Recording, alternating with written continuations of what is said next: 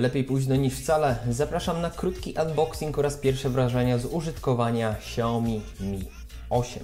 Jakiś czas temu zrecenzowałem dla Was Xiaomi Mi Mix 2S i moim zdaniem jest to jeden z lepszych, aby nie najlepszych modeli tego producenta. Dlatego też oczekiwania względem Mi 8 mam mocno wygórowane. Urządzenie zapakowane jest niesamowicie ładnie, starannie, natomiast według mnie Mi Mix 2S oferował w tym elemencie troszeczkę więcej. W skład zestawu wchodzi rzecz jasna sam smartfon, do którego zaraz wrócimy, ładowarka z szybkim ładowaniem, przewód USB typu C, miły gadżet w postaci silikonowego case bądź jak to woli etui pokrowca, choć ten nijak się ma do tego, który otrzymujemy w Mimix 2S. Dodatkowo przejściówka na słuchawki oraz cała papierologia, z których i tak nie korzystam. Samo urządzenie wykonane jest świetnie. Front oraz tył urządzenia chroniony jest Gorilla Glass 5. Rama jest metalowa, a sam telefon jest niesamowicie, aż nienaturalnie lekki. Czy to plus, czy to minus? Ja mimo wszystko wolę czuć telefon w ręku. Wersja jaką dostałem to model 664, jest też dostępny model z 128 GB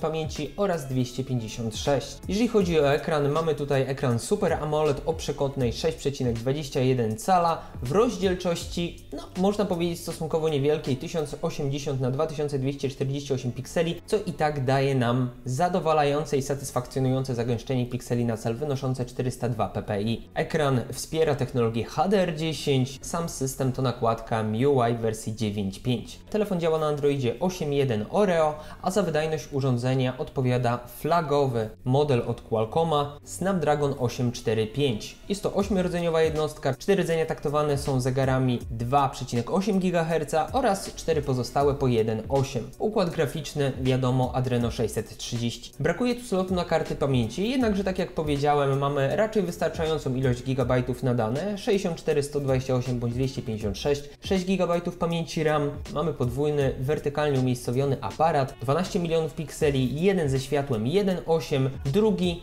12-megapikselowy także ze światłem 2.4. Telefon rejestruje filmy w maksymalnej rozdzielczości 4K przy 30 klatkach oraz Full HD w 30, 120 oraz 240.